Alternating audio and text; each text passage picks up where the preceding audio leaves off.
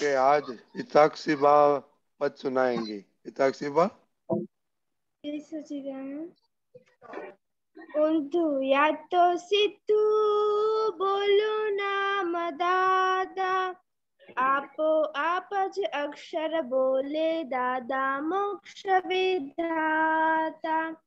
ऊंधु या तो सिद्धू बोलो नाम दादा નામ દાદા આપો આપ જ અક્ષર બોલે દાદા મોક્ષ વિધાતા દાદાજીની હાજરીથી માયા નાસી જાય અહીં પણ સખણા નહીં બેસો તો પાપો ના ધોવાય અન્ય ક્ષેત્રે કીધા પાપો ના ધોવાતા પ્રાકૃતિક જલતી ભઠ્ઠી ના ભડકાડા ઠરી જાતા ઊંધું યા તો સીધું બોલો નામ દાદા આપો આપ જ અક્ષર બોલે દાદા મોક્ષ વિધાતા દાદા માટે શંકિત રહેશો તો એ બક્ષે માફી જ્ઞાન ઉપર શંકા થવાથી વિરાધના મહાથાતી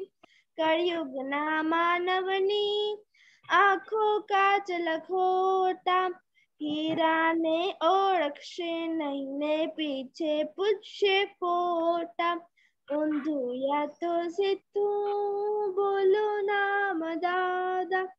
आप आप जे अक्षर बोले दादा, मोक्ष विधाता। जी सचिदानंद अच्छा बहुत बढ़िया पद आपने निकाला। और अच्छा हसमुख काका, आपने कैसा गाया आपने? साक्षी ने बहुत अच्छा गाया। ओके। और जिया दीदी एक मिनट जिया दीदी ये पद आपके लिए बहुत काम आएँगे। और जरा एवरीडे करने का। ओके हसमुख का हम्म। तो एक बार ये पद आपको वापस सुन लेने का और कविराज ने कैसे गाया है वो भी आपको एक सुन लेने का। बराबर है तो आपको जो भी डिफरेंसेस है आपको मालूम पड़ जाएगा। हिताक्षी बा। हाँ।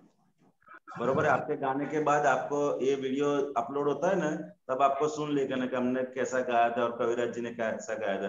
तो क्या वो जो भी चेंजेस है वो अंदर अपने आप होते रहेंगे। जो जो बच्चे यहाँ पे पद गाते हैं उनको अपना गाया हुआ पद या कही हुई बातें एक बार सुन लेने की। तो कहाँ कहाँ क्या होता है? क्योंकि अभी अपने पास एक टेक्नोलॉजी है तो हम लोग सुन सकते हैं रिवीजन कर सकते हैं तो उसका यूज़ करने का। तो क्या नेक्स्ट बार कुछ भी हो तो इससे कैसे बेटर करे उसकी तो मालूम पड़े। बराबर है? और ये हाँ बोलो। हाँ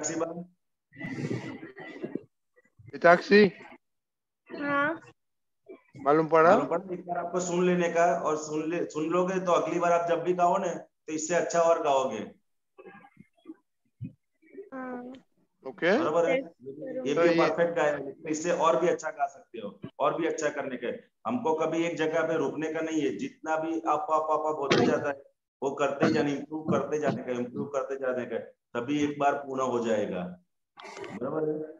मतलब एक बार अच्छा गाया तो ऐसा ही गाने का ऐसा नहीं, उससे कैसे मैं बेटर करूँ? कोई भी चीज़ है तो कैसे मैं थोड़ा और अच्छा करूँ? कैसे मैं थोड़ा और अच्छा करूँ?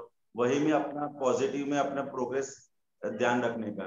कि भाई एक बार किसी ने बहुत सपने कहा बहुत अच्छा गा लिया तो उसमें नहीं अपना टकना ऊपर ने आगे बढ़ने का, उससे भी कैसे अच्छा गाओ उससे भी कैसे अच्छा गाओ तो वैसे करते रहोगे तो धीरे धीरे धीरे धीरे करके आपकी सिंगिंग और सब आपका बहुत सही हो जाएगा।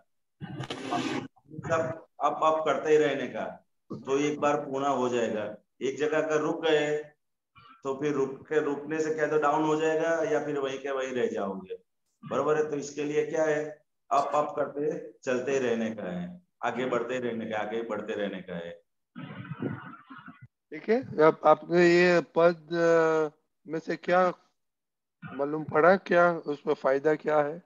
अगर हम उल्टा बोले या सीधा बोले बोलेगे तो हम दादा आए हाँ वो तो मालूम है बाद में बाद में?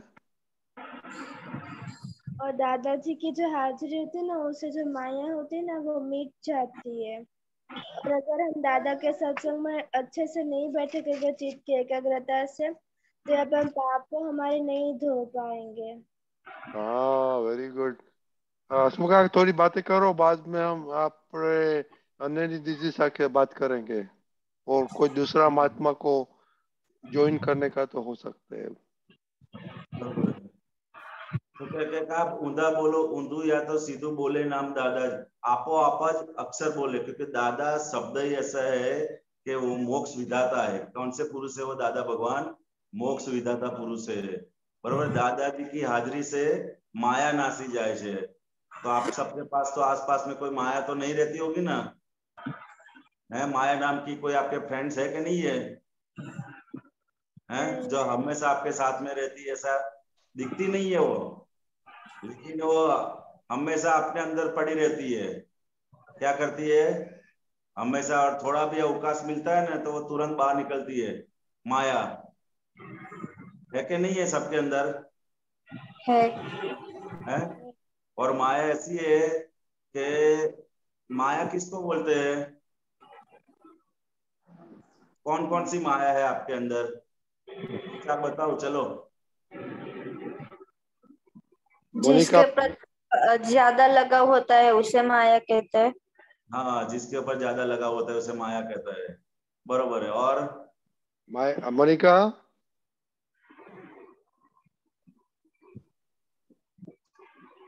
बहन के साथ माया होती है मम्मी के साथ होती है। हाँ। और नहीं अपने साथ में कौन कौन सी माया रहती है? तो पहला में पहली माया कौन सी है जो हमारे दिन भर हमारे हाथ में रहती है? मोबाइल। हाँ हाँ वो सबसे बड़ी एक काल के अंदर माया है।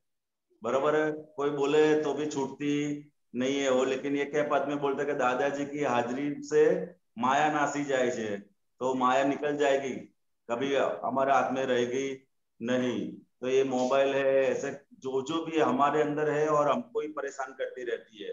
किसी के सुनने देती नहीं है। वो दादाजी की, अगर दादाजी को हम साथ में रखेंगे तो माया अपने आप चली जाएगी। किसी के वो आप कितना भी निकालने का प्रयत्न करोगे तो निकलेगी नहीं। लेकिन उनको मालूम पड़ गया कि दादा भगवान इनसे आ गए, साथ में बैठे हुए तो कभी साथ में बैठेगी। नहीं, ऐसा इसके लिए हमने बोला आज बात हुई ना पहले तो कि दादा, भगवान को हमारे साथ में रखने का, हे दादा, भगवान, आप हमारे साथ में साथ में रहो। तो जितना जितना दादा, भगवान को हम साथ में रखेंगे तो ये जगत की कोई भी माया हमको छू पाएगी नहीं। क्योंकि कोई भी कारण मतलब किसी भी तरह से कुसंग का कारण, उसकी एंट्री कहाँ से होती है? तो कि माया के द्वारा होती है। किससे होती है? माया के द्वारा होती है। किसी भी, कोई भी कुसंग अगर हमारे अंदर पैसता है, माया और लोभ के कारण पैसता है, प्रलोभन बोलते हैं उसको। क्या बोलते हैं? प्रलोभन। कोई भी प्रलोभन देखा और उसके पीछे हम अगर दौड़ गए तो वो तुरंत ही वो कुसंग हमारे अंदर पैस जाएँगे। लेकिन अगर दादा भगवान हमारे साथ में है तो वो टाइम पे अगर हमको वो जागृत करेंगे तो ये प्रलोभन है, ये माया है, आप इसमें जाओ। नहीं, इसके लिए बोलेंगे दादाजी की हाजिरी में माया नासी जाएगी। तो माया रुकेगी नहीं। क्योंकि दादाजी की हाजरी का प्रभाव ही ऐसा है। बरोबर है? तो इसके लिए हमेशा दादा भगवान को साथ में रखने का। ठीक है? बच्चे लोग? ओके अभी थोड़ा बातें करेंगे हम आप